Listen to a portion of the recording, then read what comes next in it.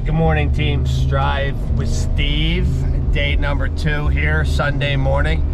Sorry that the lighting is not that great, but it is uh, prior to sunrise. I'm on my way down to the marina.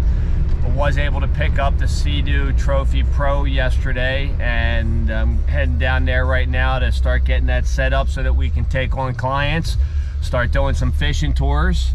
Uh, weather here in Cape May today, little chilly as you can see. I got a, uh, a zip-up sweatshirt and a lightweight jacket on on top of that because I am going to be right on the water. Um, I expect that once the sun comes up, it's going to start getting a little bit warmer and uh, we are going to be operating soon. The ride yesterday from Beesley's Point Sea-Doo in Ocean City, New Jersey to the marina in Cape May was cold.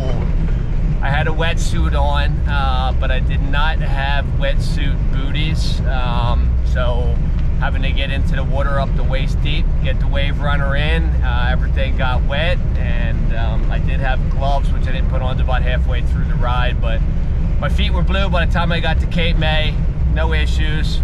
It's all a good thing in the name of uh, love of business, getting something up and running. So I will probably start the video again in a little bit and give you guys a rundown of the machine and the marina we are in. All right, driving with Steve. Peace out, guys.